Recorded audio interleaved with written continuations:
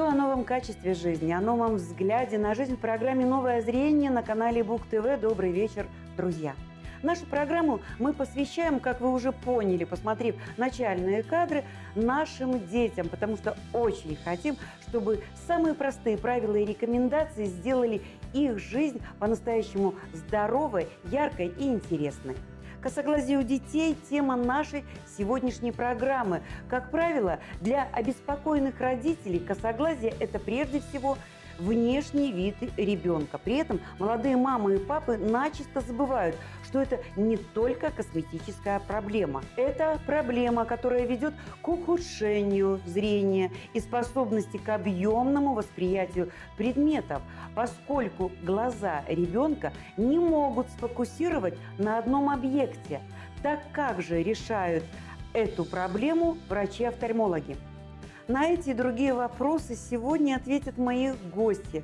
Детские врачи-офтальмологи медицинского центра «Новое зрение» Татьяна Мажейко и Наталья Панасюк. Татьяна Ивановна Мажейко, врач-офтальмолог, хирург первой категории, детский офтальмолог. Стаж работы в офтальмологии более 10 лет. Сфера профессиональных интересов. Функциональная диагностика сложной глазной патологии. Хирургическое лечение косоглазия методом регулируемых швов. Врожденная глазная патология. Консервативное и хирургическое лечение детских глазных болезней. Владеет современными методами диагностики и лечения заболеваний глаз у детей. Постоянно совершенствует свой профессиональный уровень. Является постоянным участником международных международных офтальмологических конференций. Наталья Петровна Панасюк, врач-офтальмолог первой категории. Стаж работы в детской офтальмологии более 25 лет. Сфера профессиональных интересов. Современная функциональная диагностика. Скрининг врожденной патологии у детей. Консервативное лечение детских глазных болезней. Диагностика сложных форм косоглазия. Консервативные методы лечения. Призматическая коррекция паралитического косоглазия. Скрининг и лечение амблиопии. Владеет основными современными методами диагностики и лечения заболеваний глаз у детей. Постоянно совершенствует свой профессиональный уровень, принимает участие в республиканских и международных офтальмологических конференциях. Здравствуйте, девочки, здравствуйте, дамы. Мы сегодня решили говорить о детском косоглазии. Часто ли возникает такая проблема у родителей, у деток? Наталья Петровна, что такое косоглазие?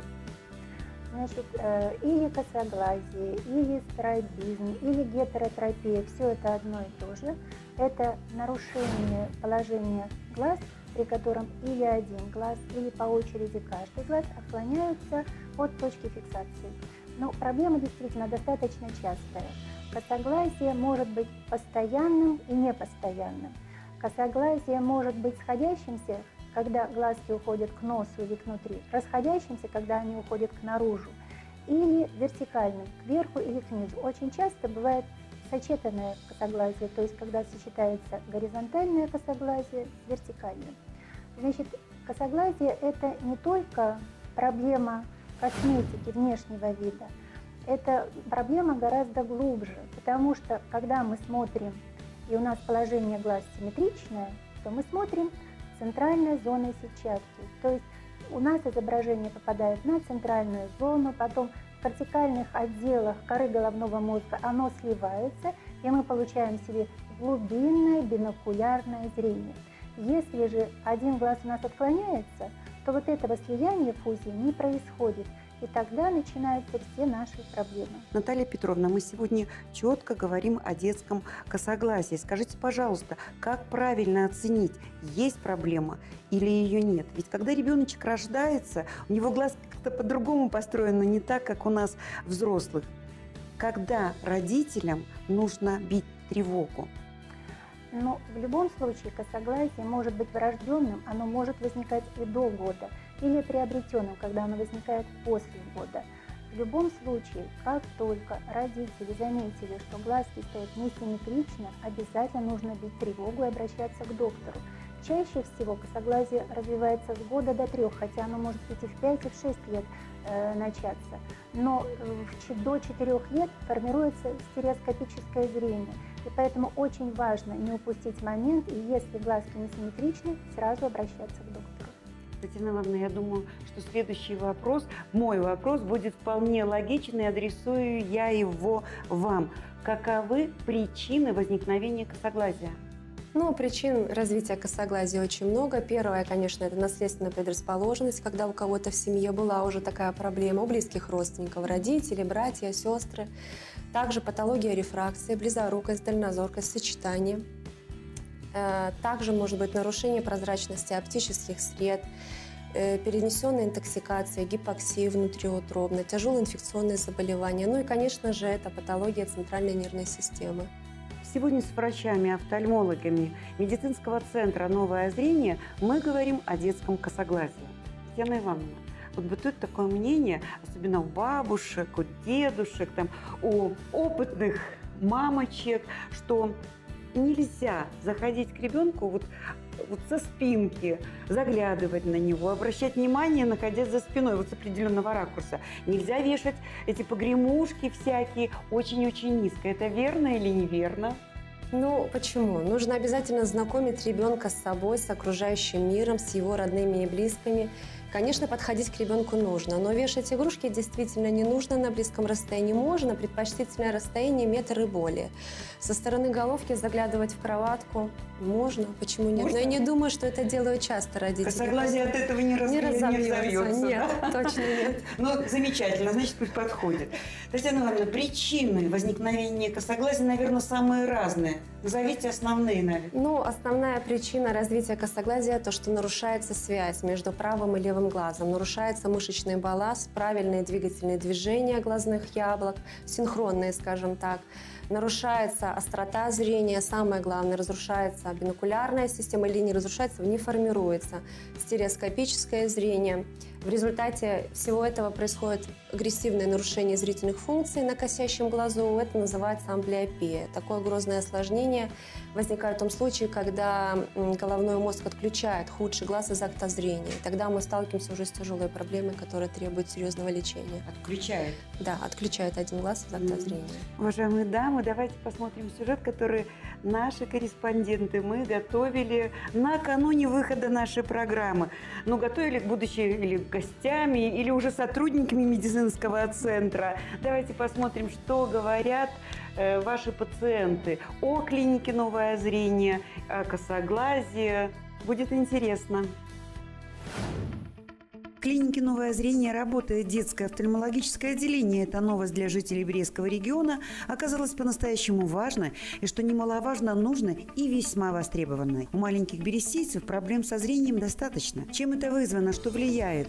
Ответ на эти вопросы очевиден. Интенсивные и длительные нагрузки на глаза, неправильное положение тела во время письма и чтения, использование гаджетов и многое-многое другое. Все эти факторы приводят к перенапряжению глаз и снижению зрения в детском возрасте. Немаловажную роль играют и врожденные патологии. У маленькой Ксюши с рождения проблемы со зрением. У сестрички-двойняшки нет. Девочка ходит в очках, постоянно наблюдается у докторов. Сегодня в центре новое зрение. Девочка общительная, разговорчивая, а очки и вовсе не мешают вести активный образ жизни. А вот у доктора наблюдаться нужно постоянно. Ксюша мечтает красить глазки, когда вырастет. Потому что будут зубы красивые. А вот у юного брещанина Матвея косоглазие. Проблема, от которой и наш герой, и его мама решили избавиться. Обращались к разным специалистам, но остановились на медицинском центре «Новое зрение». Матвей к докторам приходит без боязни. За годы осмотров и процедур уже привык, да и мужской характер обязывает страх не показывать. К операции готов. Именно хирургическое вмешательство сможет вернуть полноценное зрение мальчишке. Мы обратились в «Новое зрение», потому что прошли лечение у других докторов, и они как-то остановились и не знали, что нам делать дальше. Нас обнаружили косоглазие, вот, ну, узнали, что здесь открылась у нас в Бресте клиника, решили прийти на обследование. Мы здесь прошли обследование, как раз были из Минска, э, значит, врач, и посоветовала нам все-таки сделать операцию. Мы сразу не решили сделать операцию. Вот. Но сейчас уже ну, еще подумали и все-таки решили сделать операцию. Я уточняла, делала, э, мама одна делала операцию в Минске новое зрение, ей понравилось именно у Коломыцкой. Вот, и мы решили сделать тоже, потому что ну, нам по-другому не получится нам исправить наш недостаток. Да, да. Я пришел сюда, чтобы вылечить. А он тебе беспокоит? Не очень. Не очень. Ну надо, да? Да. Мне будут делать операцию. Ну а дальше все будет хорошо. Проблемы со зрением у ребенка – это не приговор. Современные методы коррекции зрения, которые используют врачи медицинского центра «Новое зрение», помогут вернуть вашим детям полноценный взгляд на мир. И это не миф, это реальность. Каждая мама мечтает о том, чтобы ребенок был здоров во всех отношениях. Поэтому, узнав о том, что э, клиника решает вопросы и детского характера, обратились за помощью на полное обследование глаз ребенка. Мы, конечно, довольны, все на высшем уровне. Все чудесные врачи, чудесные все. Очень понравилось мне. Все хорошо. Я, если у кого есть проблемы, советую приходите новое зрение лечиться. Я думаю, что наши телезрители уже хорошо усвоили, чем опасно косоглазие. Наталья Петровна, а когда родителям следует, если есть такова проблема, обращаться к докторам? Какой возраст ребенка самый оптимальный? Но дело в том, что, как мы уже говорили, косоглазие же может быть и врожденным, и приобретенным. Поэтому как только родители увидели, что глазки стоят несимметрично, нужно обращаться к доктору. И лечение должно начинаться сразу после постановки диагноза потому что действительно время тут иногда играет очень большое значение. Если у ребеночка, даже маленького, есть косоглазие, ему можно назначить очки. Даже до года можно посмотреть ребеночка и одеть ему очки. Сейчас вот, есть, вот такие, да, да? вот такие есть очки. Сейчас есть вообще для малюсеньких деток совсем, вот для таких вот Ой, малю- совсем малюсеньких деток. То есть даже ребеночек до года может одеть очки. Мы можем посмотреть, какая там аномалия рефракция. Мы можем дать окклюзию. И мы можем не допустить более серьезных причин. Поэтому ждать какого-то возраста не нужно. Нужно приходить сразу Обнаружили? и сразу обращаться. Да. Татьяна Ивановна, а какие современные методы лечения косоглазия? Ведь есть таковые, правда же, время-то движется вперед. Ну, конечно, есть. Вообще для каждого ребенка мы подбираем индивидуальную программу лечения, реабилитации, прибегаем к методам подбо- современным методам подбора оптической коррекции, кроме всего прочего, предлагаем окклюзию, она у нас есть разная, заклеиваем. Стоп, стоп, Татьяна Ивановна, это вот это называется окклюзия. да. Это вот, Окклюдер. так вот, да, вот И наверх вот. одеваем на ребеночка Очки, очки. И такие вот интересные всякие Да. с мультяшками. Ну, они есть разные и для девочек, и для мальчиков. Кроме всего прочего, разрабатываются специальные методы лечения бинокулярной патологии, э, патологии стереоскопической, то есть э, разные методы, и чаще всего, не чаще всего, но иногда в некоторых случаях приходится прибегать к хирургическому лечению косоглазия. Хирургическое лечение. Наталья Петровна, так быть может, Зачем это лечение? Зачем походы к врачу постоянные? Можно операцию сделать и забыть. Во-первых, нужно делать операцию или не нужно делать операцию, решает доктор, который ведет этого Ну, ребенка. просто. Конечно, потому что есть косоглазие, которое называется аккомодационное, которое лечится исключительно очками, окклюзией и ортоптикой. И там никогда не делают операции, потому что при консервативном правильном лечении можно полностью решить проблему косоглазия. А если же косоглазие не аккомодационное, которое не исправляется очками, то тогда, конечно, приходится прибегать и к хирургическому лечению. Но опять-таки здесь смотрит доктор, индивидуально каждого ребеночка, и уже разрабатывает методику операции тот хирург детский, который будет оперировать в зависимости от вида операции, от дисбаланса этих глазодвигательных мышц. Татьяна Ивановна, а в каком возрасте можно и нужно делать операцию? Ну, зрительная система ребеночка формируется до 3-4 лет. И это именно тот возраст, когда предпочтительно поставить глазки в правильное положение, чтобы и правый, и левый глаз видели примерно одинаковую правильную картинку. Только при таких условиях возможно формирование правильно зрительного анализатора, бинокулярной системы и стереоскопического зрения. Конечно, существуют случаи, когда прибегают к оперативному лечению гораздо позже, но это все индивидуально, то, о чем говорила Наталья Петровна. Поэтому желательно 3-4 года. Наталья Петровна, обратившись в медицинский центр «Новое зрение», смогут ли родители со своим детенышем получить у вас квалифицированную помощь? В нашем медицинском центре открыто новое отделение, детское офтальмологическое отделение, которое сделано по образцу мировых европейских современных офтальмологических детских центров. То есть у нас в нашем центре не просто можно посмотреть ребенку рефракцию и подобрать правильные очки. У нас можно просто полностью продиагностировать косоглазие. Э, угол косоглазия измеряется в градусах и призматических диоптриях. Градусы – это все-таки достаточно грубое измерение. У нас есть специально вот наборы таких призм, у нас есть призматические линейки. Давайте да, пожалуйста. Да. Значит, при помощи которых мы можем определить призматических диоптриях угол косоглазия. Вот это линейки, которые есть. Можно определить вертикальное, горизонтальное косоглазие. Это вы прикладываете? Да, глазу, это мы вот прикладываем вот к глазу, вот так. да, вот так вот, и смотрим. У меня нет как... косоглазия. Нет, у вас нет косоглазия, у вас ровно стоящие, абсолютно симметричные глаза.